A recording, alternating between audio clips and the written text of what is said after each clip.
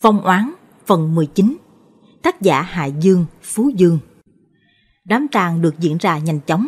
Cả gia đình chú Trường, gia đình chú Mạnh đều hoang mang tột độ vì trong vòng vài chục ngày ngắn ngủi mất tận ba mạng người.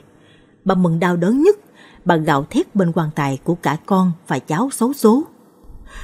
Ôi con ơi, cháu ơi, sao cả hai lại ra đi thương tâm thế này?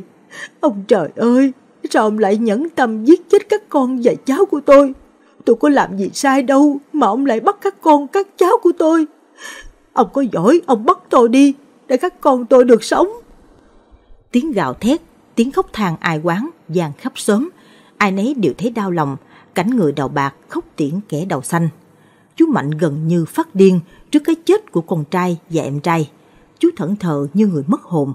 Bạn bè hàng xóm cũng tập trung an ủi, động viên, chia buồn, nhưng chú bỏ ngoài tai tất cả. Ngẫm cho cùng, chú bị như vậy cũng đúng. Làm gì có ai trong thời gian ngắn ngủi phải trải qua nỗi đau mất mát lớn nhường ấy lại có thể bình tâm như không có chuyện gì xảy ra.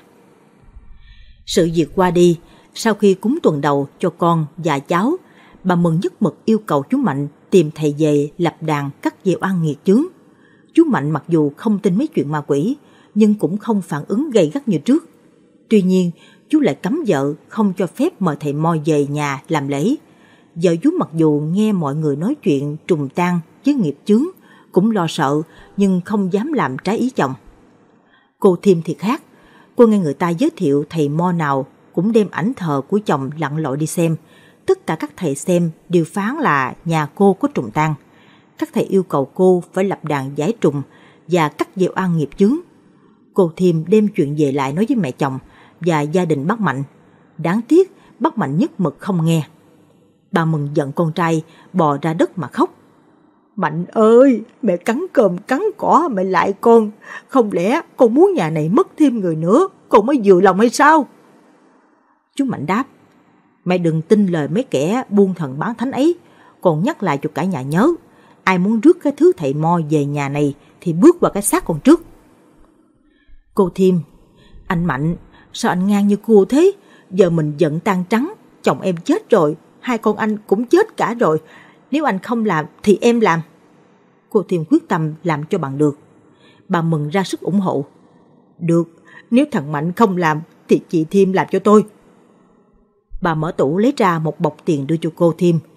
Mẹ không có nhiều tiền, con cầm thêm vào mời thầy về lập đàn. Chú Mạnh giật lại túi tiền mà rằng Mẹ đừng mù quáng nữa, bao nhiêu nhà tiền mất tật mang vì cái lũ thầy bối, thầy cúng mà mọi người chưa hiểu hay sao?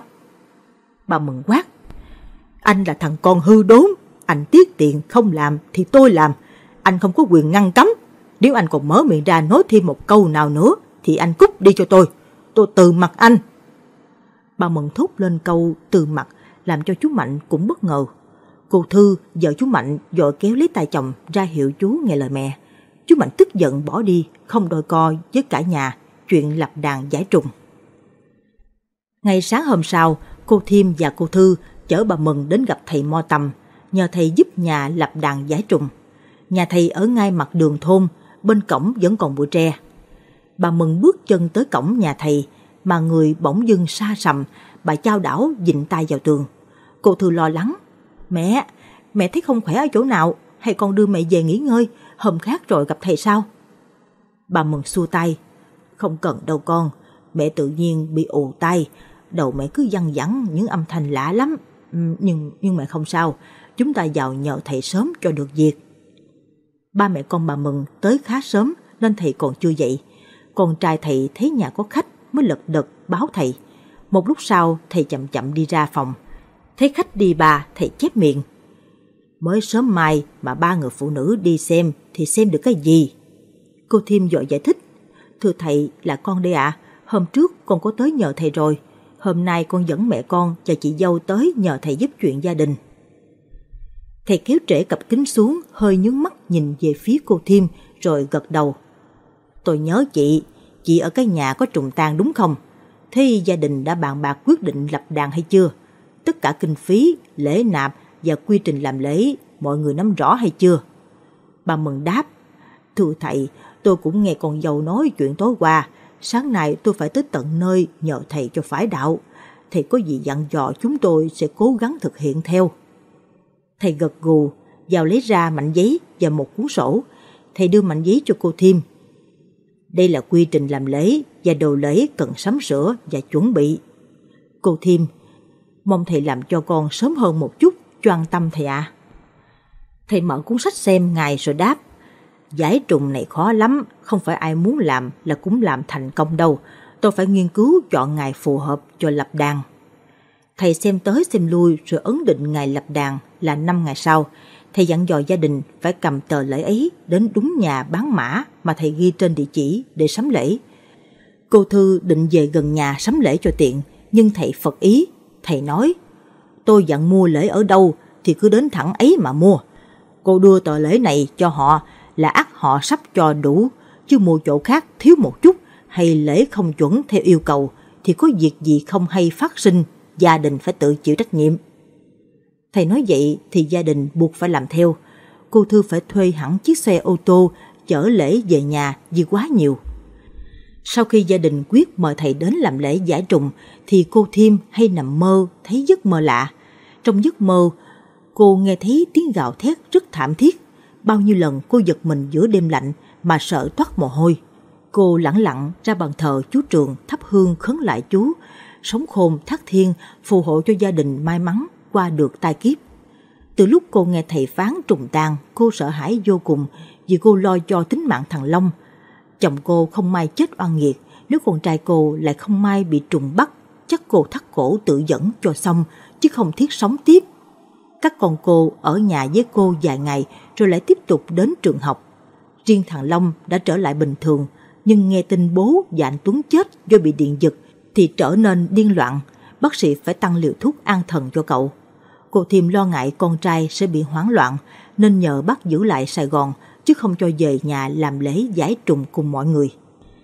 Ngày lập đàn giải trùng, chú Mạnh quyết không ở nhà mà bỏ lên cơ quan từ sáng sớm. Thầy Tầm dẫn theo sáu thầy khác nữa đến thẳng vào nhà cô Thiêm làm lễ. Mọi việc được sắp xếp, bài trí ổn thỏa từ sớm nên các thầy tới lại tiến hành cúng đàn luôn. Cả bảy thầy cùng liên tục từ sáng sớm đến tận 12 giờ trưa mới tạm nghỉ. Gia đình cô Thiêm chuẩn bị cơm trưa cho các thầy ăn, rồi tranh thủ nghỉ ngơi một tiếng để chiều tiếp tục cúng bái. Mâm cơm vừa bê lên, thầy trợn mắt quát.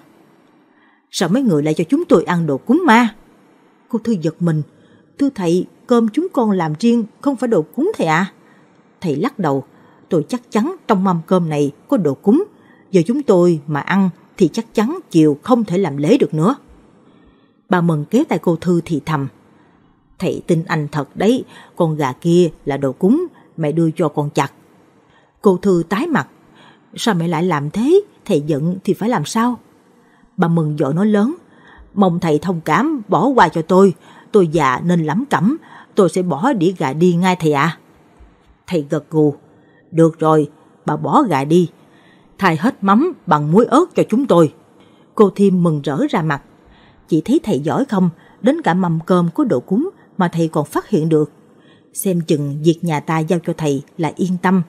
Mấy đêm em ngủ toàn mơ thấy ác mộng nên sợ lắm. Em trong từng ngày cho đến hôm nay. Nói dại chứ, lỡ mà không tìm được thầy, không giải được trùng thì chắc em cũng chết chứ không sống nổi. Cô Thư đáp, thiếm đừng nói gỡ, thầy đã ra tay thì chắc chắn không có chuyện gì đâu.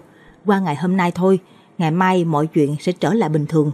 Tôi lòi chành mạnh lắm, anh ấy ngang lắm, lại không tin mấy chuyện này. Cô còn con cái, chứ tôi hết thật rồi. Giờ anh Mạnh mà gặp sự cố gì, chắc tôi cũng không thiết sống nữa. Cô Thư vừa nói, vừa lấy tay lao nước mắt. Kể từ khi thằng Tú đột ngột qua đời, cô như kẻ mất hồn. May mắn có mẹ chồng trò chuyện an ủi nên cô cũng bớt đau thương. Vậy mà đùng một cái, tinh dữ, thằng Tuấn điện giật chết, làm cô thêm một phen bàng hoàng. Bao nhiêu đêm cô khóc lóc vì thương các con, cô cũng lén chồng đi xem thầy. Nhưng chồng cô biết lại mắng chửi, chì chiết, nên cô cũng không dám làm trái ý chồng. Mai thai có thiếm thiêm và mẹ chồng mạnh dạn làm tới, nên cô còn có chỗ dựa. Bà mừng thương con, thương cháu, cũng sống đau thương, lại pháp phỏng lo âu bao nhiêu ngày liền bà hay mơ thấy cháu, nhưng giấc mơ rất mờ nhạt. Bà gần như không nhớ nổi cháu nói gì. ngoại trừ những câu kêu chết oan và những lời kêu gào thảm thiết. Bà hay than trách ông trời sao bất công, chỉ trong thời gian ngắn ngủi lại đoạt đi mạng sống của một người con trai, hai người cháu trai của bà. Bà thắp hương gia tiên, kêu cậu, nhưng lời kêu cầu của bà dường như không được đáp lại. Nước mắt bà rơi quá nhiều ở cái tuổi đáng lý phải vui vẻ quay quần bên con cháu. Các thầy nghỉ ngơi đúng một giờ chiều, lại tiến hành làm lễ cắt dây ăn nghiệp chứng. Thầy Pháp cầm trượng múa may luôn miệng đọc các câu thần chú. Tiếng thầy cúng gian lên đều đều, từ giờ này qua giờ khác. 7 giờ tối, thầy lại nghỉ ngơi ăn uống rồi chuẩn bị cúng tới đêm. Chú Mạnh đi làm về, nghe tiếng cúng bái khó chịu, đóng sầm cửa lại. Sau 8 giờ, thầy lại tiếp tục làm lễ, khiến chú Mạnh thấy đầu óc căng thẳng. Tới 10 giờ, chú Mạnh sang nhà cô Thiêm gọi vợ về. Cô Thư thấy vậy bèn nói, Mình về nhà nghỉ ngơi, em ở đây với mọi người, chờ làm lễ xong thì sẽ về. Chú Mạnh tức giận, cúng bái ầm ĩ thế này, phá làng phá sớm, mấy người không định cho làng sớm nghỉ ngơi hay sao? Bà Mừng chỉ tay vào chú Mạnh mà rằng, anh đi về cho tôi, ở đây là chỗ cúng bái linh thiêng, cần người tính tâm chứ không cần người phá đám. Nếu anh không đi, tôi quét anh đi. Chú Mạnh trao mày. Được, vậy con ngồi đây xem mấy kẻ buôn thần bán thánh này bắt ma giải trùng ra làm sao. Nếu họ không bắt được ma thì con bắt họ vì tội tuyên truyền mê tín dị đoan. Trời càng ngày càng khuya, tiếng cúng bái dẫn gian lên đều đều. Thầy Pháp cắt dây tan, bỏ vào thùng lửa, cháy bùng bùng. Mọi người ai nấy đều tập trung dồn vào cái thùng lửa đặt giữa canh đàn. Thầy Tầm cúng giọng gấp gáp hơn bình thường. Ánh lửa bùng lên rồi từ từ tắt liệm. Thầy Pháp mỉm cười gật đầu với gia đình, báo đã hoàn thành nhiệm vụ. Thầy Tầm đọc nốt bài cúng, cũng đứng dậy tươi cười nói với mọi người. Vậy là xong rồi, canh đàn coi như thành công mỹ mãn, gia đình muốn kiệu dông người thân lên nói chuyện hay không? Bà mừng khóc từ nãy đến giờ, nghẹn ngào đáp.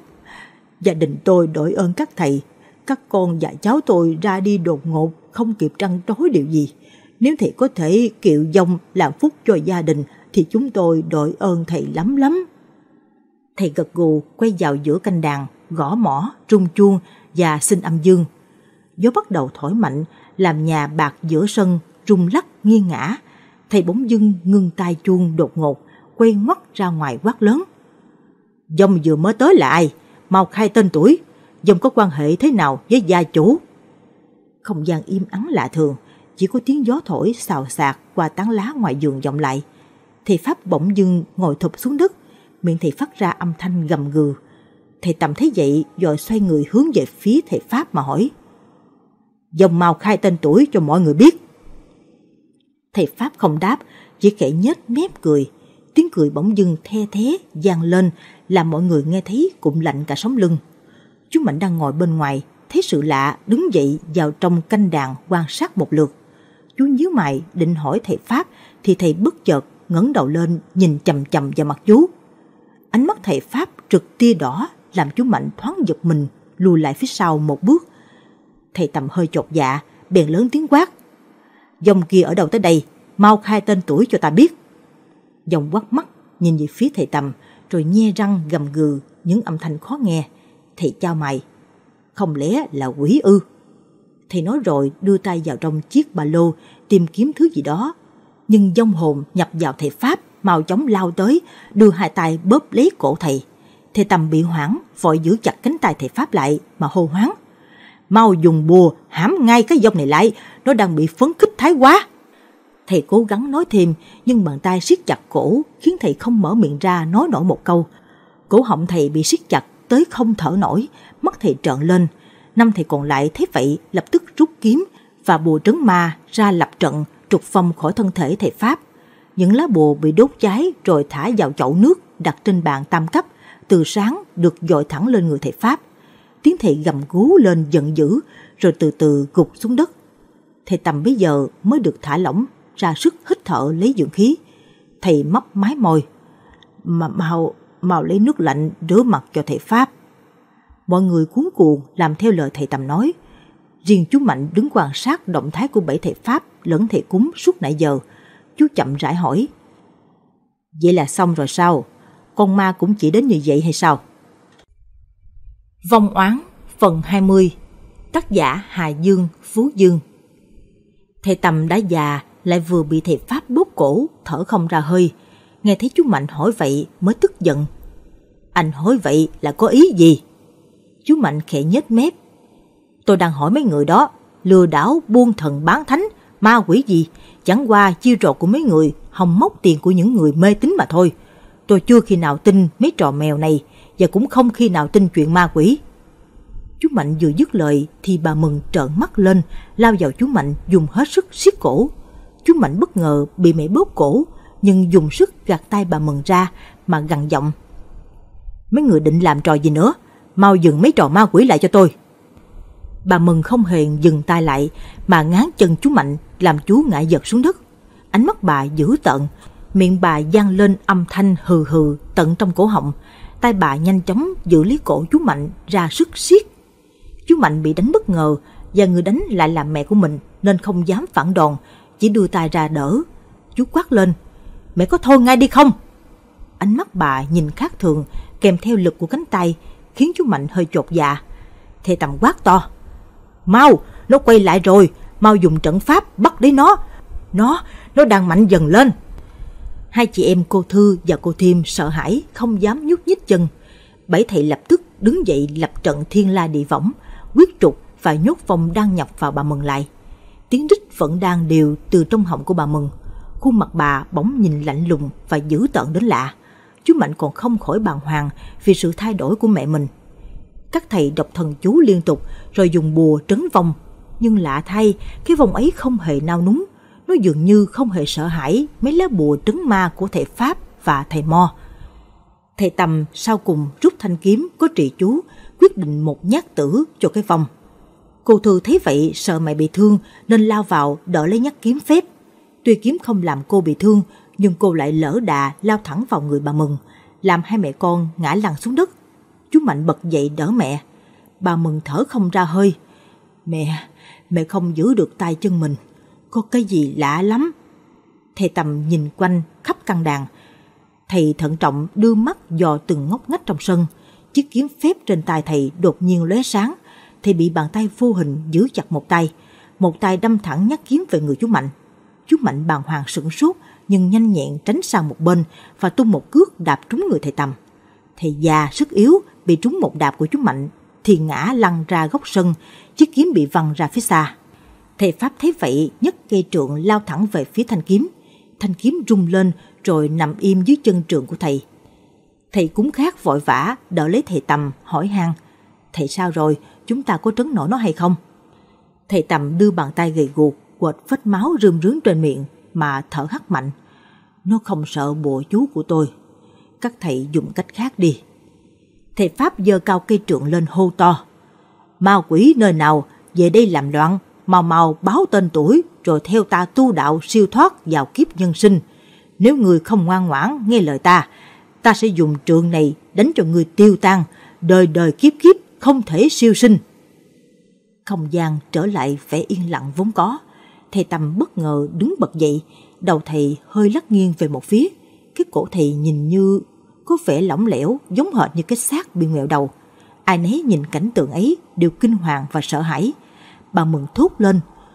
Lúc nãy mẹ cũng có cảm giác cái đầu muốn gãy ra khỏi cổ như vậy.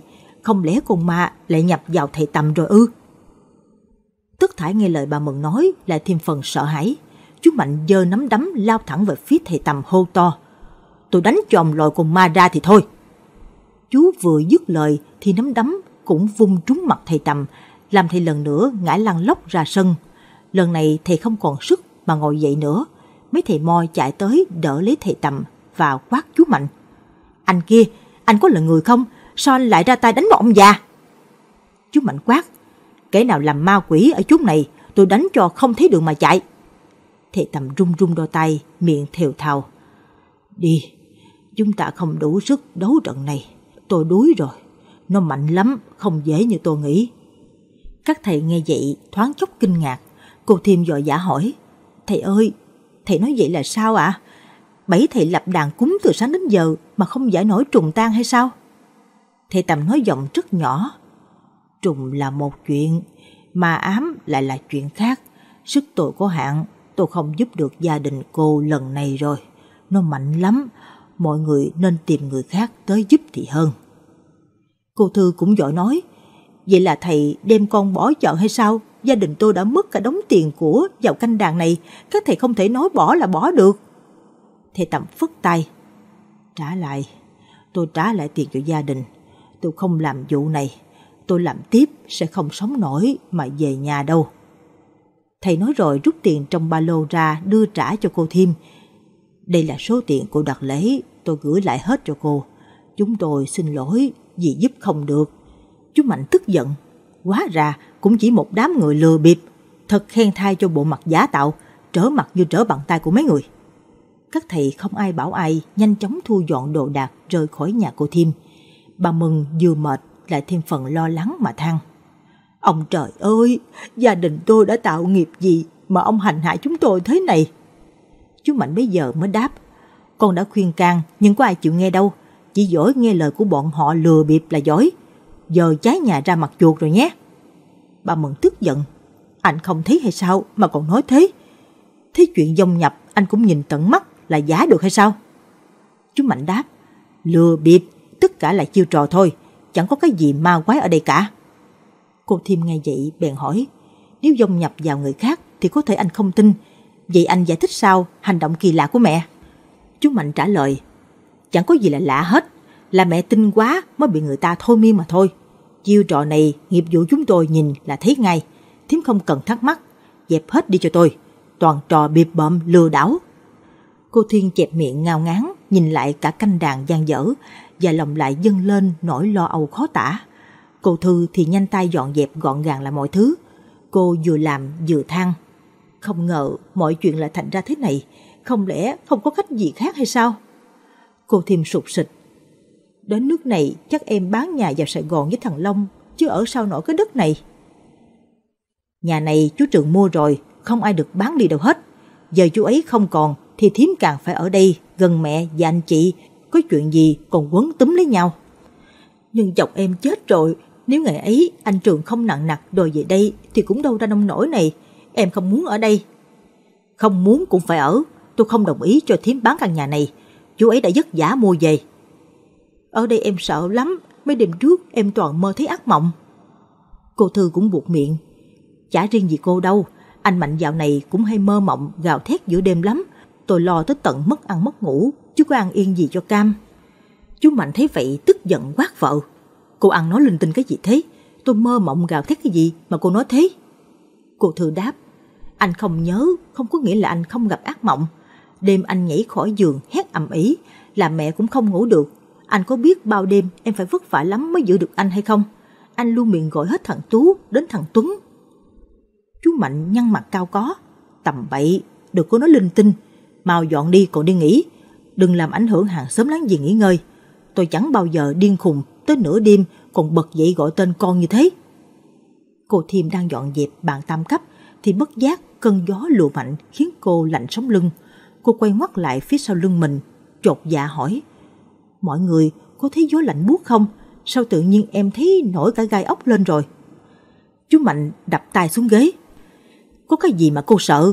Nếu cô sợ thì sang nhà ngủ với chị dâu đi. Bên này tôi ngủ rồi trông cho.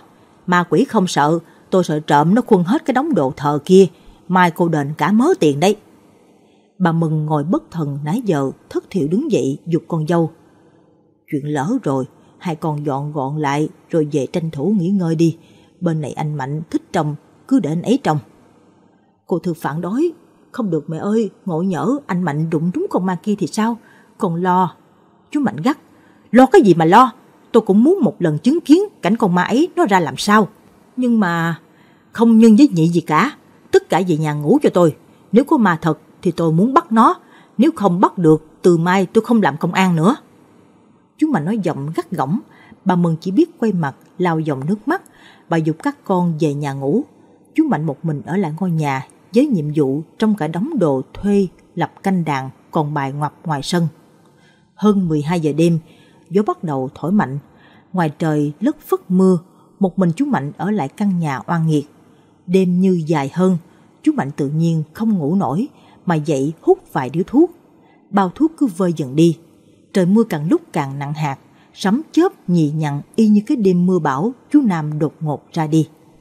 Sáng hôm sau, trời mưa tạnh, cô Thư sang gọi chú Mạnh về ăn sáng chuẩn bị đi làm. Cô vừa mở cổng ra thì bị hình ảnh chú Mạnh đang lơ lửng treo cổ trên cây mít làm cô sợ hãi đến ngất liệm. Vừa hay hàng xóm nhà cô cũng vừa đi tới, thấy cô như vậy vội vàng lao vào hô hoáng mọi người cấp cứu. Bà Mừng và cô Thư bên nhà nghe tiếng hô hoáng cũng chạy vội sang. Mọi người lo nâng cô Thư dậy, bà Mừng nhìn về phía cây mít gào lên đau đớn. Mạnh ơi, sao con lại dại dột thế hả con ơi là con? Người hàng xóm đang dịu cô thêm vội vàng nhìn về cây mít thì cũng sốc tới suýt thả tay làm ngã cô Thư. Chuyện, chuyện, chuyện gì thế này? Sao anh Mạnh lại treo cổ tự tử trúng chỗ anh Nam chết lần trước? Bà mừng già, tại chân run rẩy đang cố leo qua lan can, ôm lấy xác chú Mạnh còn đang lơ lửng trên cạnh còn sót lại trên cây mít oan nghiệt. Môi bà mấp mái những câu gọi đau thương xé tim gan. Cô thêm sợ hãi cũng run rẩy đỡ vội lấy mẹ chồng. Mẹ ơi, mẹ bình tĩnh đi mẹ ơi. Bà mừng đẩy cô thêm ra mà gào lên. Tránh ra, mẹ phải cứu con trai của mẹ. Mạnh ơi, sao con lại làm thế hả con? Con giết chết mẹ rồi con ơi. Bà ôm lấy phần ngăn hông của chú mà khóc. tay bà đập mạnh vào cái xác chết của chú Mạnh đã lạnh cứng, không có phản ứng. Trời ơi, thằng con bất hiếu của tôi, sao lại dại dột thế này hả con? Con muốn mẹ sống sao đây? Cô thừa tỉnh dậy, nhưng hình ảnh chú Mạnh lơ lửng trên cành cây mít làm cô hoảng loạn gào thét rồi lại ngất liệm đi. Có lẽ nỗi đau lớn nhất dành cho cô khi trong vài tháng đã mất đi tất cả những người thân yêu. Ngày Tuấn mất, cô khóc ngất lên ngất xuống. Ngày Tuấn mất, cô không muốn tỉnh lại. Nước mắt quện vào nhau mặn chát mà xót tận tâm can. Giờ đến lượt chú Mạnh mất. Người chồng của cô, người đầu óc tai gối của cô cũng bỏ đi đột ngột, làm cô điên dại. Không ai thấy nước mắt cô rơi, bởi lẽ nỗi đau là quá lớn. Cô đã cạn nước mắt cho những người thân yêu của mình. Hàng xóm báo công an, họ tới kiểm tra hiện trường và kết luận chú Mạnh là treo cổ tự tử. Cái chết của chú Mạnh được kết luận y chang cái chết của chú Nam ngày nào khiến mọi người không khỏi hoang mang. Sợi dây thòng lọng được tháo ra cũng nhanh chóng được tẩm xăng đốt đi. Sợi dây chú Mạnh dùng treo cổ cũng giống y như sợi dây chú Nam dùng treo cổ khi xưa. Hàng xóm giúp gia đình bà Mừng đốt sợi dây mà còn kinh ngạc vì sự trùng hợp đến kỳ lạ. Mọi sự đồn thổi lại bắt đầu bùng lên và dẫn dắt câu chuyện theo hướng ma quỷ dị thường khác. vòng oán phần 21 Tác giả Hà Dương, Phú Dương Nhà bà Mừng tan nói tan, đau thương tiếp đau thương. Bà Tâm biết chuyện cũng báo cô An về viếng đám ma. Cô An thoạt đầu nghe tin về cái chết của các con chú Mạnh đã không khỏi bàng hoàng. Này nghe tin chú Mạnh treo cổ tự tử còn không dám tin. Bà Tâm kể tường tận mọi chuyện bà nghe được cho cô biết.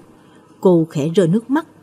Oan nghiệt, mảnh đất oan nghiệt, cây mít oan nghiệt, tất cả đều oan nghiệt. Bao giờ mọi chuyện mới chấm dứt hả mẹ ơi? Bà Tâm thở dài. Thầy Hiện đã từng cảnh báo về tăng sự của nhà anh Mạnh, nhưng anh ấy cố chấp không nghe. Bây giờ mọi chuyện thành ra như vậy. Đau xót quá con ơi. Nhà mình mất thằng Nam đã đau thế ấy. Bà mừng mất hai người con, thêm hai cháu nội thì sống làm sao? Cô An cho các con về nhà cậu Tiến chơi, rồi cùng mẹ chồng tới dự đám tang. Bức tường ngăn cách nhà cũ của cô với nhà bà Mừng bị phá tan để thông sân cho hai nhà tiện việc tổ chức tang lễ. Cô chỉ dám đứng bên sân nhà chú Mạnh nhìn về ngôi nhà cũ, chứ tuyệt nhiên không dám bước chân qua. Bởi lẽ tận sâu trong đáy lòng, cô rất sợ ngôi nhà ấy. Ngôi nhà trong thời gian ngắn ngủi, chưa tới một năm, đã lần lượt lấy đi mạng sống của cả thảy năm con người. Hàng xóm thấy cô An về viếng đám ma, cũng lại gần bắt chuyện. Mọi người to nhỏ thì thầm chuyện chú Mạnh chết treo cổ và chuyện ma quái ở trong ngôi nhà. Thậm chí có người còn thì thầm nói là gia đình cô may mắn chuyển đi sớm chứ không sẽ chết oan y như nhà chú Mạnh. Cô nghe mà tâm trạng hỗn độn lo âu, cảm giác hồi hộp và nghẹn ngào, không hiểu sao dâng lên khiến cô bật khóc, thương tâm, làm mọi người không khỏi suy nghĩ. Mỗi người lại đặt ra câu hỏi khác nhau cho lý do mà cô An lại khóc thương tâm đến thế. Tuy nhiên, họ cũng suy đoán theo lập luận riêng của họ, chứ không hỏi thẳng cô An. Bà Tâm thấy vậy, vội động viên con. Bình tĩnh lại đi con, dẫu sao chuyện cũng đã xảy ra rồi. Mẹ biết còn đau lòng và thương xót cho những người đã mất. Âu cũng là cái số của mỗi con người. Cô An nức nở. Giá như ngày ấy bác Mạnh nghe lời thầy Hiện thì có lẽ mọi chuyện đã không đến mức quá thương tâm như thế này. Sau khi dự đám tang của chú Mạnh trở về, cô An lại mang theo niềm bất an khó tả. Cô thấy bồn chồn và bức bối trong lòng. Cô nói chuyện với bà Tâm, nhưng bà nói có lẽ do cô thấy cái chết của chú Mạnh giống của chú Nam năm ngoái, nên nỗi đau lại trở về. Cô An thở dài. Con chỉ mong mọi chuyện chỉ là sự trùng hợp. Nhưng tâm con bất an, con cảm thấy lo lắng và sợ hãi rất nhiều. Mọi chuyện lại trở về với quỹ đạo ngày thường. Sau khi lo đám tang cho chú Mạnh xong, cô Thư cũng như bộ xương di động, chẳng thiết ăn ngủ. Cô hay ngồi thẫn thờ nhìn bộ đồ quân phục của chú Mạnh mà xót thương. Bà Mừng thì chịu nỗi đau lớn nhất cũng chả thiết ăn uống, tới bệnh nằm một chỗ. Mọi việc trong nhà dồn lên vai cô My, con gái của bà trên Hà Nội. Cô My cũng là người không tin vào ma quỷ giống như chú Mạnh. Tuy nhiên, mọi chuyện xảy ra trùng hợp đã đủ sức thuyết phục cô về thế giới tâm linh, nhất là khi cô nghe chuyện thầy Mo Hiện đã từng cảnh báo chú Mạnh về tai ương của gia đình. Cô bàn bạc với mẹ chồng việc sẽ tới nhà thầy xin giúp đỡ chuyện giải nghiệp chướng. Bà Mừng lúc đầu buồn đau tới không muốn làm, không muốn đi.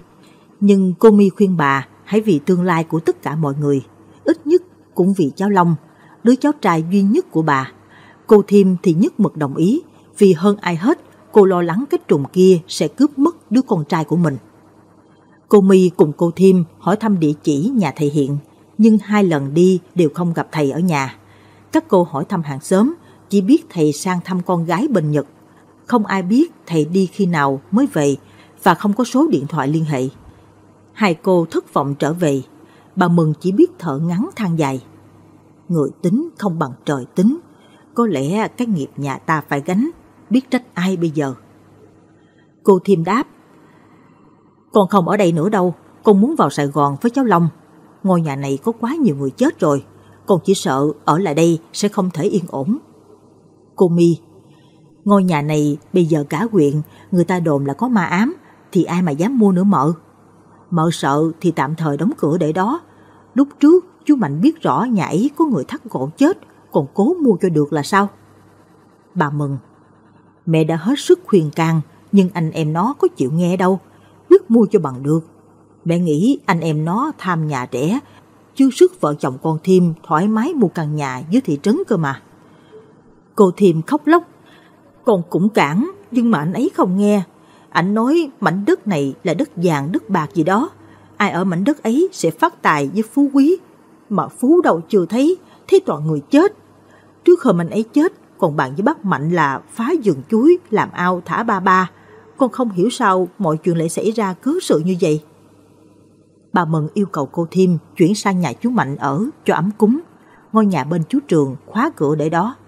Cô Thư tranh thủ dọn gọn gàng đồ đạc của chú Mạnh thì vô tình phát hiện ra chiếc hòm bỏ quên trong nhà kho. Chiếc hòm cũ kỹ nhưng khóa lại mới nên cô tìm chìa khóa kiểm tra bên trong có gì. Cô My cầm búa đập mạnh phá chiếc khóa thì bất ngờ phát hiện ra trong hòm đựng mấy tấm vải trắng. Cô nhấc tấm vải lên thì giật mình khi chiếc đầu lâu bật ra. Cô Thư thấy vậy vội hét lên sợ hãi. Cô My trấn an. Là đồ giả chị ơi, đồ này giống như người ta đóng kịch. Sao nhà mình lại có những thứ này? Cô Thư ngay người ra đáp. Tôi làm sao mà biết? Trước giờ tôi không để ý đến cái hộp này. Có lần tôi thấy nó cũ kỹ, tính vứt đi cho gọn nhà kho, thì bị anh mạnh quát, để yên, cho nên tôi không để ý đến nữa. Cô My và cô Thư đẩy chiếc hòm ra sân, bỏ tất cả đồ bên trong ra.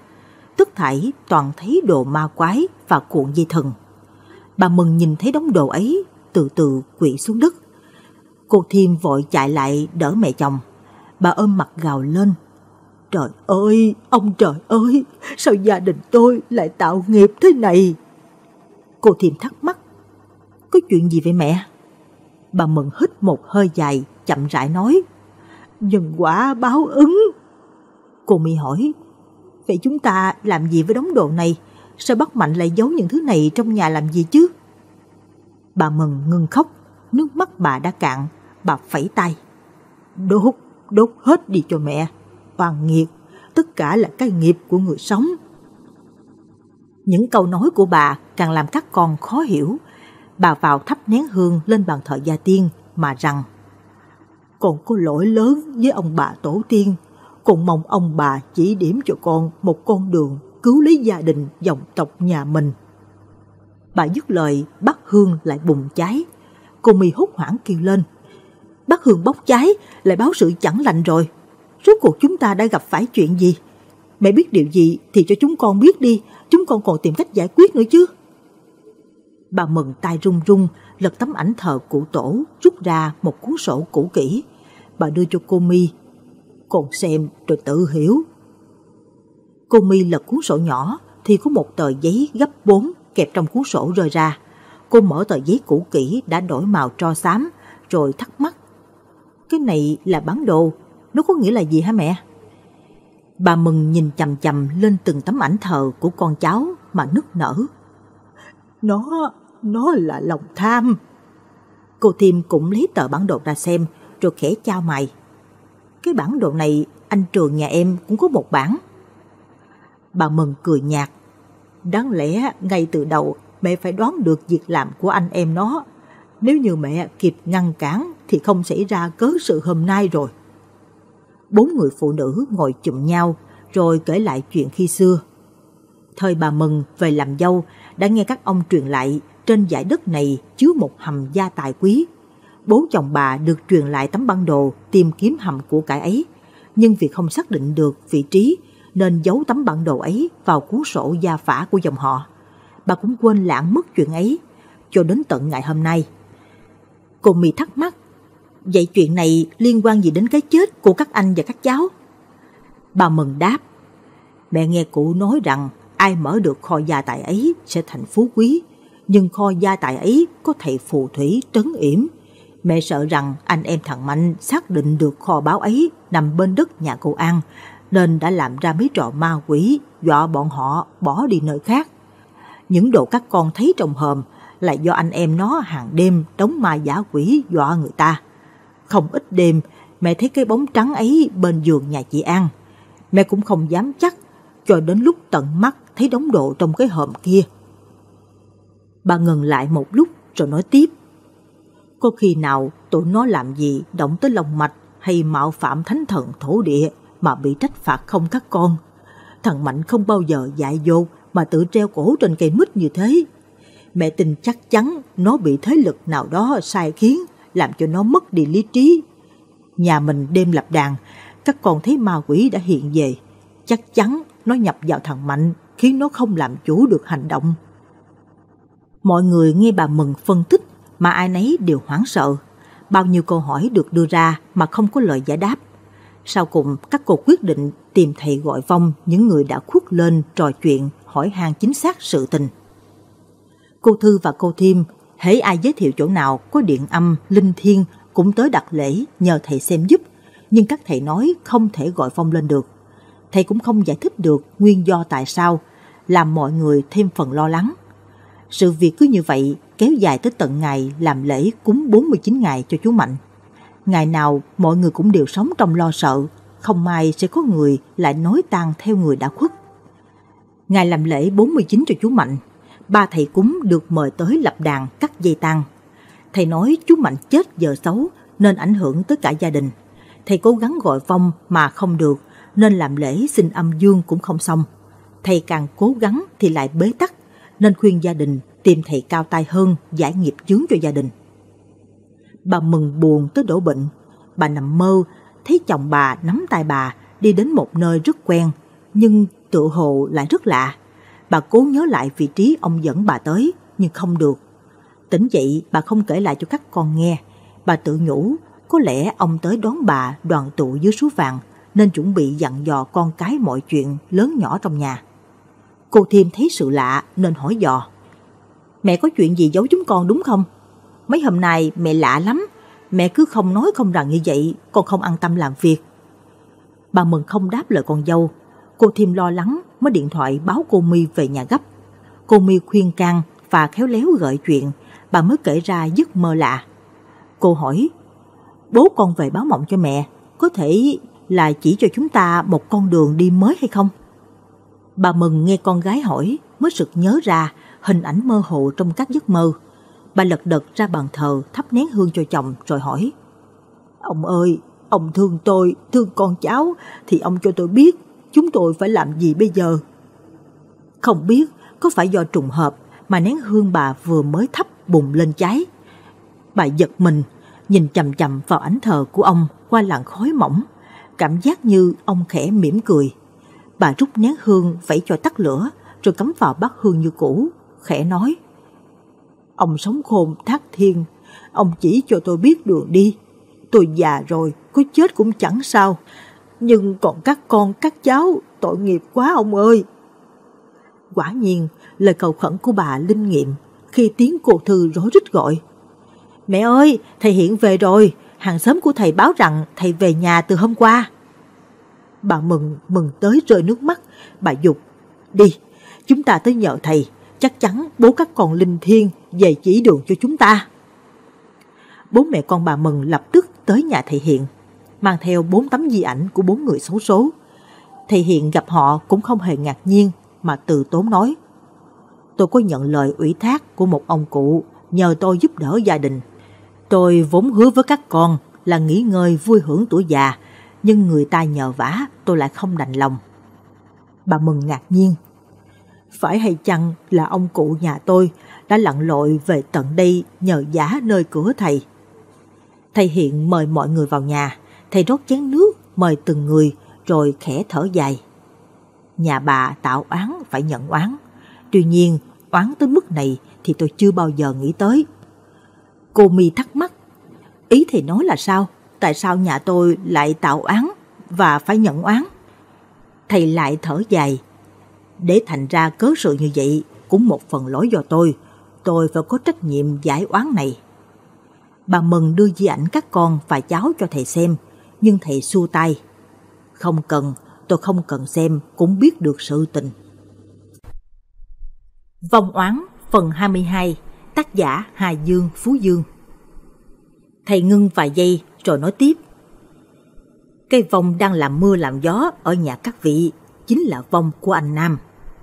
Nghe tới đó bà Mừng và cô Thư sửng sốt thốt lên. Là cớ làm sao? Tại sao lại như thế? Thầy khẳng định tôi không nói sai đâu, chính là anh Nam. Ngày trước tôi là người tới làm lễ cho anh ấy. Chính tôi là người đón anh ấy đi tu đạo siêu sinh. Anh ấy tỏ ra rất ngoan ngoãn, thực chất là hồng qua mắt tôi. Tôi chủ quan, tin tưởng đưa anh ấy lên chùa, nhưng anh ấy đã trốn về nhà, ngủ ngay cây mít. Bà mừng, nhưng tại sao cậu ấy lại hại các con và cháu của tôi? Thầy lắc đầu, là báo oán, các con bà gây oán nên bị báo oán. Đầu óc mọi người như mơ hồ vì chuyện thầy Hiện vừa mới nói. Cô thêm hỏi, rốt cuộc mọi chuyện là như thế nào? Thầy kể cho chúng con nghe ngọn ngành câu chuyện, chứ thầy úp úp mở mở như thế, chúng con càng lúc càng mơ hồ. Thầy lại thở dài. Ông cụ nhờ vả tôi, chỉ nói rằng các con ông tạo nghiệp liên quan đến cái chết của anh Nam nên bị vòng oán. Cụ thể ra làm sao, buộc phải tìm gia đình anh Nam, chỉ có họ mới giúp chúng ta giải được nút thắt này. Bà mừng thắc mắc. Nhà cậu Nam với nhà tôi trước giờ là chỗ quen biết, sao cậu ấy lại oán các con tôi? Tôi được báo rằng con bà trực tiếp gây ra cái chết cho anh Nam. Đó là nguồn cơn của mọi chuyện thương tâm sau này. Tất cả mọi người bị giật mình bởi câu nói của thầy Hiền Cô Thiêm lắp bắp. Chuyện, chuyện này không thể, chồng con là bác sĩ cứu người, chứ chưa khi nào gây ra cái chết cho ai cả. Bà Mừng cũng đáp, thằng Mạnh nhà tôi làm công an, thằng Trường nhà tôi làm bác sĩ. Sao tụi nó lại gây ra cái chết cho cậu Nam? Cậu ấy không phải là treo cổ tự tử hay sao? Tôi càng nghe thầy nói lại càng rối. Thầy chậm rãi đáp, ai cũng nghĩ như thế, duy có người trong cuộc mới biết sự thật là thế nào. Chúng ta cần gọi vòng lên hỏi chuyện thì sẽ tỏ tường mọi chuyện. Bà Mừng quay sang nhìn các con rồi đáp.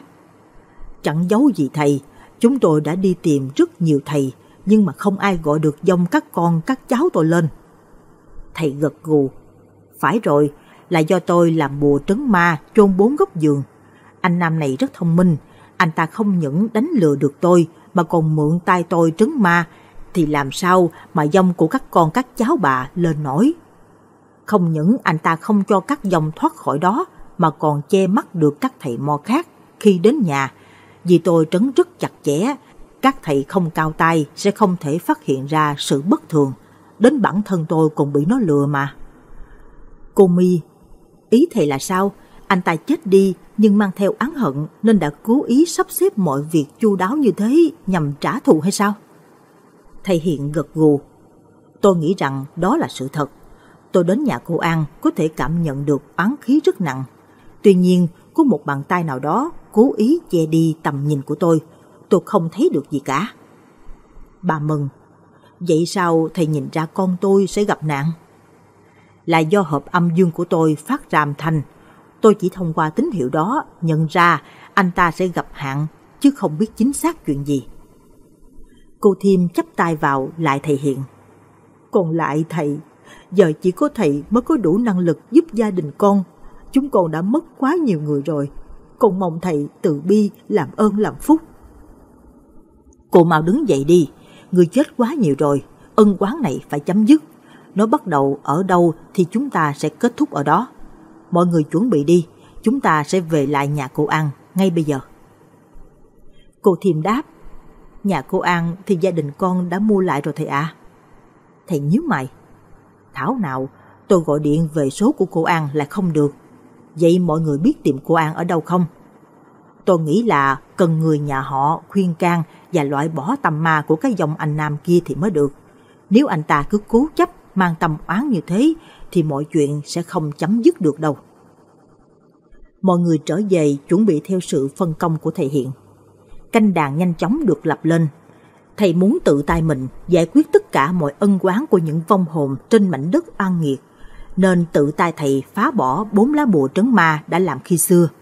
Quả nhiên, chiếc bùa cuối cùng bị phá hủy, thì chiếc hợp âm dương của thầy trung lên âm thanh chát chúa. Thầy nghe thấy tiếng oan hồn kêu gào thảm thiết xen lẫn tiếng oán than thương tâm. Thầy Hiện cúng liên tục mấy giờ đồng hồ, tới phần gọi vong, tất cả người thân trong gia đình bà Mừng đều ngồi đàn, tuy nhiên chỉ có duy nhất vong của Tú nhập vào cô Mi. Tiếng thằng bé rành rọt, Mẹ ơi, bà ơi, con đau lắm, con không muốn ở dưới này đâu, đáng sợ, rất đáng sợ. Bà Mừng thương cháu, khóc lóc, hỏi han sự tình, nhưng thằng Tú chỉ có khóc. Thầy Hiện hỏi, Vậy con có biết anh trai con, bố con và chú con đang ở đâu hay không? Con biết, bố con với chú Trường mới bị quỷ sứ dẫn nhốt xuống âm ti thành quỷ đói rồi.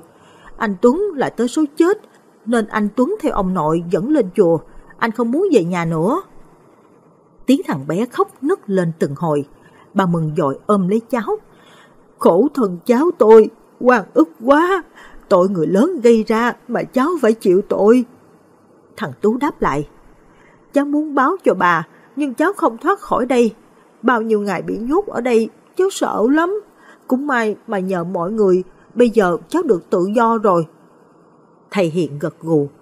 Vậy cháu có biết đã xảy ra chuyện gì mà cả nhà bốn người đều đột ngột ra đi hay không? Thằng Tú ngập ngừng một lát rồi nói. Chú Nam nói là do bố cháu và chú Trường làm hại chú ấy nên chú ấy sẽ bắt cả gia đình chúng cháu phải đi theo chú ấy mới hả giận, quyết không cho ai sống sót. Cô Thư hòa lên. Trời đất ơi, nợ máu, trả máu. Ai gây tội người ấy trả, cứ sao lại bắt luôn các con tôi đi. Con ơi là con, Tuấn ơi, Tú ơi, sao lại khổ thế hả con? Thầy Hiện hỏi, vậy cháu cô án trách vì đã chết oan ức hay không? Thằng Tú đáp, Lúc đầu cháu hận lắm, oán lắm, cháu hận tất cả mọi người. Nhưng giờ cháu lại không oán trách, cháu chỉ mong mình học tập, tu luyện tốt, sớm ngày siêu sinh kiếp khác. Thầy gật đầu, cháu là đứa trẻ hiểu chuyện, cháu nhất định sẽ sớm siêu sinh. Chú Nam có ở đây hay không cháu? Thằng Tú lắc đầu. Chú ấy đi rồi, chú ấy đáng sợ lắm. Ngày bố cháu chết là do chú ấy nhập vào bố cháu, rồi ép bố cháu tự treo cổ vào sợi dây thòng lọng. Tận mắt cháu nhìn thấy, nhưng cháu không thể giúp được. Bà mừng giận mình, lại giận con, tay đấm thùm thụp vào ngực. Trời ơi, oan nghiệt, đúng là oan nghiệt mà. Thằng Tú chậm rãi kể lại chuyện đêm đó. Chú Mạnh hút hết cả bao thuốc, vẫn không tài nào chợp mắt. Trời càng lúc càng mưa to. Tiếng sấm chớp nhì nhằn như xé toạc bầu trời đen tối và những toan tính trong đầu chú. Vốn dĩ chú và chú Trường tính đào cái ao tìm kiếm lại cái hầm chứa kho báu mà trong tấm bản đồ gia tiên để lại. Đáng tiếc, việc còn chưa thành thì người đã mất. Chú ngồi yên lặng, mở mắt, nhìn vào không gian thoát sáng thoát tối do sấm sét tạo thành. Bỗng dưng, người chú lạnh toát. Một bàn tay lạnh cống như nước đá bỗng đặt lên vai của chú. Cái lạnh buốt thấu da thấu thịt bỗng làm cho chú thấy sợ hãi. Chú theo phản xạ, nhanh tay đập mạnh lên vai, hòng bắt lấy cánh tay ấy, nhưng hoàn toàn thất bại. Người chú bắt đầu thấy sợn gai ốc. Chú nhíu mày định thần lại, thì rồi tiến tới bật điện trong nhà cho sáng. Ánh điện vừa lóe lên, chú thấy ngay một người đàn ông đang lơ lửng ngay trước mặt. Chú giật mình hoảng sợ, nhưng toan tính trong đầu, đó chỉ là ảo giác, nên lấy tay dụi mắt. Đáng tiếc, cái đầu người đàn ông đó bỗng dưng động đậy. Anh ta ngửa cái cổ mình kêu răng rắc, rồi từ từ tiến lại phía chú. Chú đưa tay đấm mạnh về phía người đàn ông, nhưng đáp lại chỉ là một khoảng không gian trống rỗng. Người đàn ông đó lại cất lên tiếng nói ngay phía sau lưng, làm chú giật thót tim. Chú đã dần mường tượng ra cái hiện tượng quái dị mà người ta vẫn hay đồn thổi là ma với quỷ. Chú nhớ anh đồng nghiệp từng nói nếu theo Phật khi gặp ma chỉ chuyên tâm niệm Phật thì tà ma sẽ sợ và bỏ chạy. Chú ngày ấy còn cười vào mặt đồng nghiệp, nhưng bây giờ chính chú lại phải dùng tới cách ấy để thoát khỏi ám ảnh hiện tại. Người đàn ông ấy lúc thì là khuôn mặt của chú Trường, lúc lại ra khuôn mặt của hai đứa con của chú. Cuộc vờn bắt bẩn cợt diễn ra cả tiếng đồng hồ không hề ngừng lại. Chú Mạnh mệt toát mồ hôi, miệng chú bắt đầu lẩm bẩm niệm Nam Mô A Di Đà Phật. Tiếng người đàn ông bất ngờ vang lên. Tâm ma mà niệm Phật ư, mày niệm tới chết cũng không Phật nào chứng cho đâu. Lúc bấy giờ, chú mới nhận ra cái giọng nói trầm trầm lúc xa lúc gần ấy chính là giọng chú Nam. Chú ngẩng lên nhìn chầm chầm vào chú Nam mà đáp. Sao mày âm hồn bất tán thế? Thì ra, bấy lâu nay mày tắt oai tắt quái ở đây sao? Phải là tao, nhờ phúc của anh em mày, tao mới được làm ma. Tao giờ có thể đi mây về gió, muốn làm gì thì làm. Tao muốn cho mày nếm trải đủ nỗi đau khi lần lượt mất đi những người thân yêu nhất. Chú Nam nói rồi cười vang nhà. Giọng cười của chú nghe đầy oán thán và diễu cợt. Chú Mạnh chỉ tay. Mày, mày đã hại chết bọn họ. Chính mày, tao, tao liều mạng với mày. Chú Mạnh đau đớn và hoảng loạn như phát điên. Chú gào thét, chú chửi bới. Chú lao vào phía chú Nam đấm đá túi bụi. Đáng tiếc, chú toàn đánh vào khoảng không. Chú Nam thì lúc ẩn lúc hiện, mỗi lúc lại mang một dáng vẻ kinh dị, làm chú Mạnh càng lúc càng sợ hãi. Sau khi đùa giỡn chán, làm chú Mạnh vừa mệt vừa sợ tới tột cùng, chú Nam cất tiếng nói. Đi, tới lúc trả giá cho tội ác của mày rồi. Đi thôi, chúng ta sẽ chơi trò treo cổ lên thòng lọng. Xưa mày treo tao thế nào, thì nay chúng ta làm thế ấy.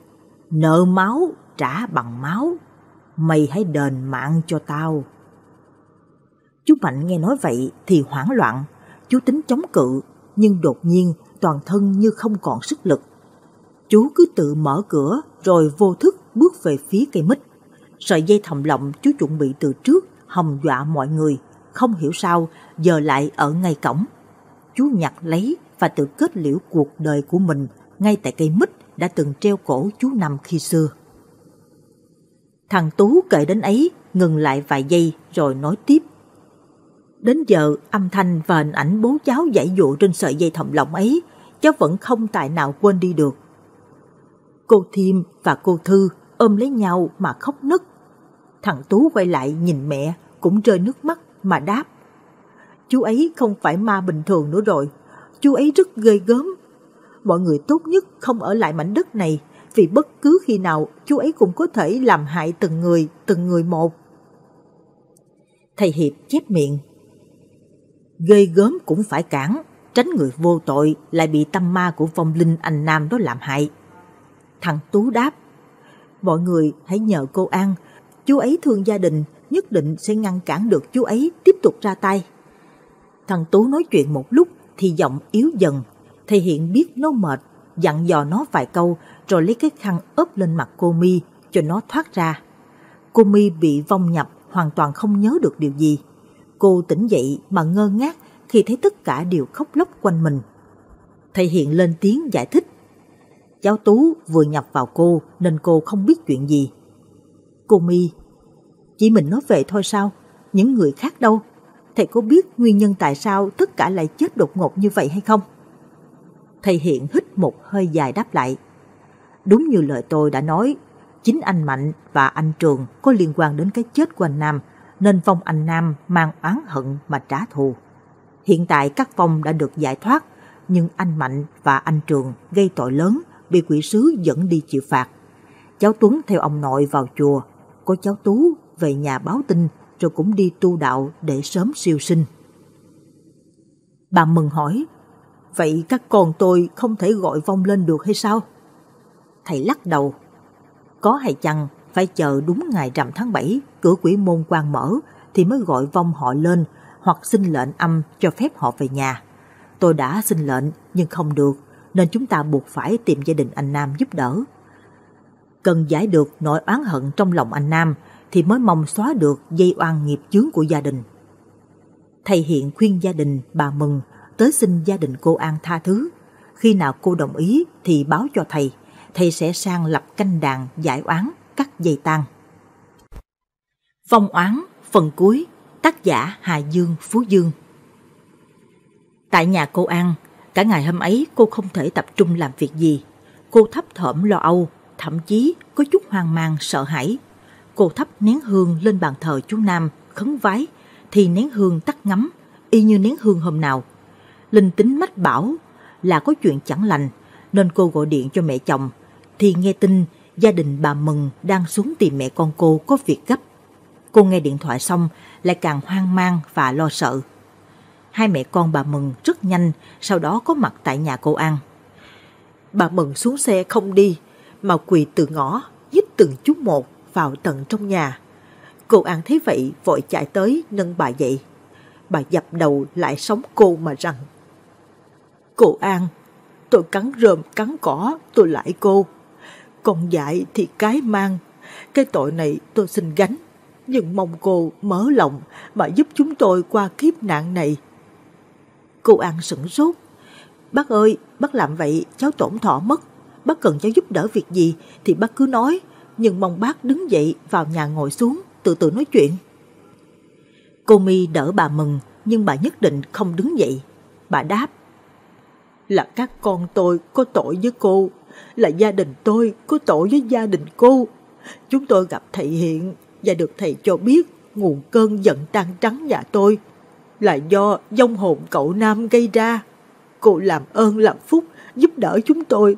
Nếu cô không giúp, tôi sẽ quỳ lại cô thế này mà không chịu đứng dậy. Cô An không muốn thấy bà Mừng quỳ lại khóc lóc dưới chân nên vội đồng ý. Cô mời hai mẹ con bà Mừng vào ghế ngồi nói chuyện cho rõ ngọn ngành. Bà vừa nói vừa khóc. Thầy hiện nói các con tôi khi sống đã làm điều có lỗi với cậu Nam nên cậu ấy quán giận mới tìm cách trả thù. Suốt thời gian qua, nhà tôi tan nối tan Hai đứa con trai và hai cháu trai của tôi đều bỏ mạng ở ngôi nhà cũ của vợ chồng cô. Thầy bảo chỉ có gia đình cô mới có thể khuyên can cậu Nam hồi tâm chuyển ý, buông bỏ oán hận mà thôi. Cô làm ơn làm phúc giúp chúng tôi với. Cô ăn nghe mà không hiểu mọi chuyện đầu đuôi ra sao, nên thắc mắc. Sao anh Nam nhà cháu lại liên quan tới con và cháu bắt được chứ? Rốt cuộc là có chuyện gì? Cô My nói lại một lần nữa. Chuyện đến nước này chúng ta nói rõ cho nhau hiểu. Theo như lời thầy Hiện nói, hai anh nhà tôi không biết đã làm gì mà liên quan đến cái chết của chồng cô. Anh Nam chết đi mới oán hận và trả thù. Cô An như người mất hồn, thẫn thờ người khi nghe cô mi nói. Cô lắp bắp. Chuyện này, sao sao lại có chuyện này? Tại sao bọn họ ác độc như thế? Sao họ lại cướp đi mạng sống của chồng tôi? Sao họ lại cướp đi cha của các con tôi? Các người có hiểu nỗi đau vợ mất chồng, con mất cha, mẹ mất con, em mất anh, nó đau xót thế nào hay không? Cô điên loạn, đưa tay hất văng cả mấy cốc nước vừa mời rót khách, rồi cô lao vào cô mi mà trách. Cô nói đi, sao bọn họ lại ác như thế? Tại sao? Chồng tôi làm gì sai? Sao họ ác như thế? Tại sao lại đối xử với chúng tôi như vậy?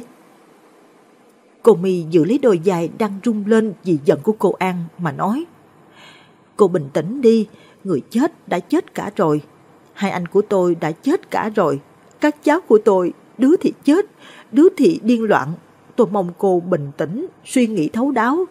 Ân quán này cho nó chấm dứt đi.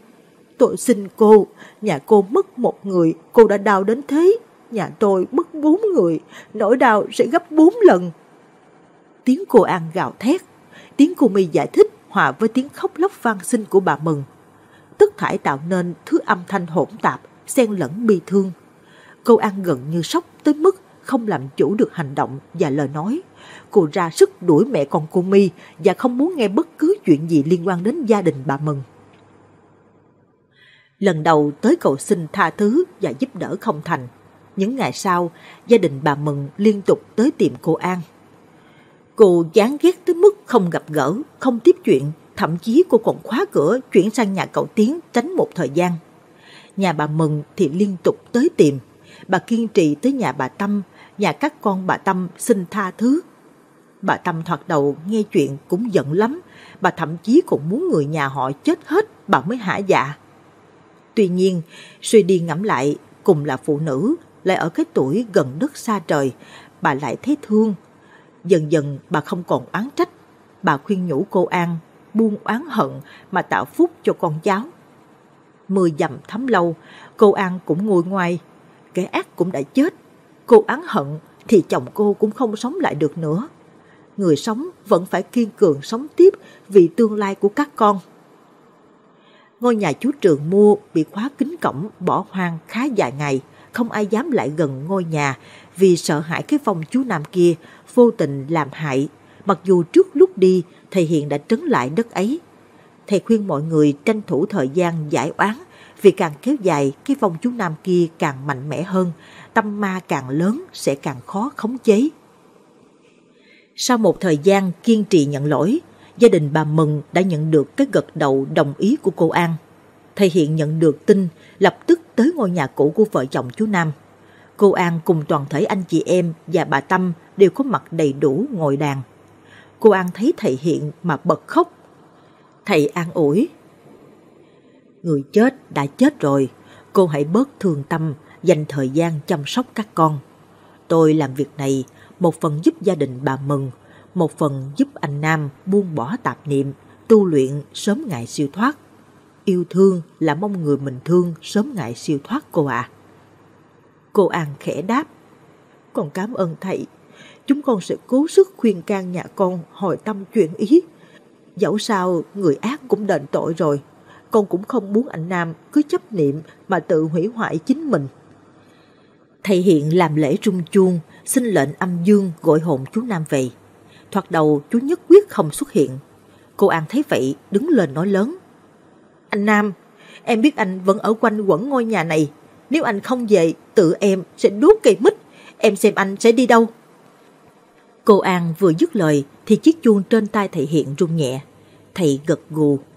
Được, ngày hôm nay chúng ta có chuyện gì thì nói cho bằng hết. Vong đừng hòng lừa tôi. Tôi tuy già nhưng lần trước đã là bài học đắt giá cho tôi rồi. Thầy dứt lời, bà Tâm cũng khẽ nhếch mép cười. Ánh mắt bà bỗng thâm trầm khác thường. Cô An tinh ý phát hiện ra, liền ôm chầm lấy bà Tâm. Anh, em biết là anh rồi. Anh hãy nghe lời thầy hiện, buông bỏ oán hận được không anh? Vòng chú Nam cất tiếng nói. Nói thì dễ, nhưng làm mới là chuyện khác. Cũng giống như hai cái thằng khốn kiếp đã hại chết anh. Cô An hỏi, vậy rút cuộc là tại sao? Em muốn biết mọi chuyện, anh hãy kể lại mọi chuyện cho em và mọi người nghe đi. Chú Nam từ từ kể lại chuyện đêm mưa bão. Chú ra giường chống được hai cây chuối thì bất ngờ bị hai anh em nhà chú Mạnh dùng thuốc mê tấn công. Bọn họ buộc dây thòng lọng vào cổ chú, đợi chú vừa tỉnh dậy đẩy viên gạch khỏi chân khiến chú bị siết cổ cho đến chết. Họ đã lợi dụng mưa bão khéo léo ngụy tạo bằng chứng giả bằng việc thay cho chú chiếc áo mưa mới giống hệt chiếc áo mưa chú đang mặc và biến chú thành kẻ treo cổ tự tử thay vì một vụ giết người. Cô An nghe chuyện khóc nức lên. Tại sao? Nhưng cớ sự là do đâu? Tại sao họ nhẫn tâm ra tay giết anh cơ chứ? Là do bản đồ kho báu của anh em nhà họ. Anh đã vô tình sang chơi, phát hiện ra chuyện họ tìm bản đồ cái hầm chứa khối gia tài khổng lồ ấy và được xác định là nằm trên đất nhà mình. Anh vốn không tin vào cái chuyện kho báu hay hầm vàng hầm bạc gì đó, nhưng họ lại có tật giật mình muốn giết anh để giữ bí mật của riêng họ. Chính họ giả ma giả quỷ, mục đích muốn đuổi những ai sống trên mảnh đất này sợ hãi mà bỏ đi. Anh chỉ thuận nước đẩy thuyền, giúp họ một tay và thuận lợi cho anh đòi lại công bằng cho chính mình mà thôi. Chính lão Mạnh đã treo anh lên cây mít thì anh khiến lão cũng phải tự kết liễu mạng sống ở chính cái nơi ấy. Anh thề sẽ bắt bọn họ phải trả cái giá gấp trăm ngàn lần tội mà họ đã gây ra. Mọi người nghe vong chú Nam kể rành rọt mọi chuyện, bây giờ mới vỡ lẽ. Bà mừng gào lên trong đau đớn. Ông trời ơi, lòng tham đúng là biến người ta thành quỷ dữ. Ôi trời ơi, chúng tôi đã tạo ra cái nghiệp gì thế này? Thầy Hiện đáp, họ gây ra tội, họ cũng đền tội rồi. Anh hãy buông tay đi, cứ oan oan tương báo đến tận bao giờ? Anh không thấy thương cho người sống hay sao? Chú Nam quắt mắt nhìn thầy Hiện. Vậy ai thương tôi? Ai thương gia đình tôi? Tôi sẽ không nghe lời thầy đâu. Tôi phải ở lại đây, bảo vệ gia đình tôi. Cô An đáp. Em và các con đã an yên với cuộc sống mới. Mẹ con em chỉ mong anh dưới suối vàng được an nghỉ. Anh thương em và các con thì hãy buông bỏ đi, có được không? Em thực tâm muốn anh được siêu sinh. Kiếp này duyên vợ chồng mình mỏng, mong kiếp sau chúng ta nối tiếp duyên vợ chồng. Các em chú Nam cũng lên tiếng động viên anh trai buông bỏ oán hận trong lòng để sớm ngày siêu thoát. Chú Nam cương quyết không nghe, thầy hiện giơ chiếc hộp âm dương lên mà rằng nếu dòng quyết không buông bỏ tạp niệm, ta sẽ dùng hết sức lực và cái thân già này đấu một trận sinh tử. Cái oán này cũng một phần do ta sơ suất mà ra. Ta nguyện lấy tính mạng này mà đánh đổi. Thầy mở nắp hộp, một thứ ánh sáng lọt ra ngoài, chiếu thẳng vào mặt bà Tâm, khiến dòng bị hoảng sợ. Cô An thương chồng, đưa người chắn lấy khóc lóc vàng xin. Anh ơi, em không muốn anh hồn siêu phách tán. Em muốn kiếp sau chúng ta nối tiếp duyên vợ chồng. Anh thương em, anh hãy theo thầy tu đạo, sớm ngày siêu sinh đi anh. Dòng chú Nam trong thân xác bà Tâm bất ngờ đứng phục dậy lao thẳng về phía thầy Hiện. Thầy nhanh tay rút con dao nhỏ cắt một vết trên tay mình. Máu thầy nhỏ vào trong hộp. Phòng chú Nam đột ngột ngã xuống đất lăn lộn vài vòng. Chú Đông và chú Bắc đỡ lấy mẹ vì lo bà vì chú Nam mà bị thương. Cô An quỳ xuống đất. Anh chỉ biết oán hận, trái tim anh đã biến đi đâu mất rồi. Anh không thương em thì không lẽ anh cũng không thương mẹ hay sao? Anh làm như vậy mẹ chịu làm sao nổi? Bà Tâm ôm đầu vật vả rồi ngẩng mặt nhìn chậm chậm về phía thầy Hiện. Thầy ôn hòa nói, ta chỉ mới dùng một phần mười tinh lực đã làm cậu đau đớn không còn sức chống đỡ. Ngạ quỷ ta còn thu phục được thì tâm mai như cậu ta há lại thua cuộc hay sao? Đánh cậu ta thừa sức nhưng ta muốn cho cậu một con đường siêu sinh. Cậu hãy tỉnh lại đi. Tâm sáng ác tâm ma ta tin cậu sẽ làm được vì cậu còn chút tình thương. Phong chú Nam từ từ ngồi dậy, thở hổn hển, dường như đoàn thể tâm dùng khiến chú có chút sợ hãi. Chú ngẩng lên mà đáp lại lời thầy. Tôi sẽ tu, nhưng tôi muốn tu tại nhà, chính tại mảnh đất này, chứ không muốn lên chùa hay theo thầy tầm đạo. Thầy hiện gật gù, ra vẻ hiểu ý của chú Nam. Cô An đáp, nhưng ngôi nhà này chúng ta đã bán cho người ta, nếu anh muốn tu tại nhà, em sẽ đưa anh về nhà mới. Chú Nam lắc đầu phản đối. Anh không đi đâu hết, anh mất đi tại đâu sẽ tại đó mà siêu sinh. Bà Mừng vội lên tiếng. Nếu cô An muốn quay lại ngôi nhà này thì chúng tôi sẽ nhượng lại cho gia đình. Chú Nam đáp. Không cần, tôi chỉ cần cây mít. Mọi người nghe chú Nam nói vậy thì đều thấy khó xử. Cây mít oan nghiệt đó đã cướp đi mạng sống của biết bao người. Giữ lại cây mít chẳng phải sẽ lưu lại mối nguy hiểm hay sao? Thầy Hiện đáp. Tự tay tôi sẽ phá cây mít ấy đi. Thay vào đó, mọi người sẽ xây cho cậu một cây hương, coi như ngôi nhà nhỏ, để cậu tu luyện tại đất này. Tôi tính như vậy, chẳng hay cậu có đồng ý hay không? Mọi người nghe thầy Hiện nói vậy cũng bảy tám phần xua theo. Phong chú Nam không phản ứng gì, đồng nghĩa với việc ngầm đồng ý. Chú ngước lên nhìn mọi người, khẽ mỉm cười rồi thoát ra. Bà Tâm tỉnh dậy thì mọi chuyện đã giải quyết ổn thỏa. Cô Thiêm vẫn còn lo lắng chuyện chú Nam sẽ không giữ lời hứa, giống như lần trước lừa thầy Hiện. Nhưng thầy xua tay. Cậu ấy chuyển tâm rồi, nếu tâm ma còn thì hợp âm dương sẽ báo. Tôi thấy chiếc hộp đã trở về trạng thái im lặng như ban đầu. Nghe thầy nói vậy, thở vào nhẹ nhõm. Ngày hôm sau, cây mít được chặt bỏ. Lúc đánh gốc cây, dọn chỗ làm móng xây cây hương, thì thợ đào bất ngờ phát hiện một đường hầm nằm bao quanh rễ cây mít. Mọi người tập trung đào và phát hiện ra một căn hầm bí mật đã bị sập gần hết. Căn hầm ấy chính là cái kho báu mà anh em chú Mạnh đã tìm kiếm bấy lâu. Đáng tiếc khi đào lên, bên trong chỉ chứa toàn các đồ sành sứ đã bị vỡ nát, không còn nguyên vẹn. Thực chất, kho báu trong tấm bản đồ ấy chỉ đơn giản là một chiếc hầm chứa đồ sinh hoạt cũ của thời các cụ để lại. Chiếc cây hương nhỏ được xây lên chính tại vị trí gốc cây mít cũ. Cô Thiêm vì lo cho con trai nên quyết tâm chuyển vào Sài Gòn, tiện thể đón luôn con gái vào bắt đầu cuộc sống mới. Gia đình bà Mừng quá đau buồn cũng bán nhà chuyển lên theo con gái trên Hà Nội. Ngôi nhà cũ của cô An được chú Đông mua lại. Chính tay thầy Hiện đã tới trấn bùa cẩn thận lại cho ngôi nhà. Thầy không quên trấn một lá ngay chính diện cây hương thờ cúng chú Nam tránh các phòng khác quấy nhiễu chú tu luyện, tìm kiếp nhân sinh. Mọi chuyện trở về nhịp sống thường nhật, mọi chuyện ma quái tại ngôi nhà ấy cũng biến mất và theo thời gian, người ta cũng lãng quên những chuyện đau thương trong quá khứ. Cô An thấy lòng nhẹ nhõm, chuyên tâm nuôi dạy các con thành người.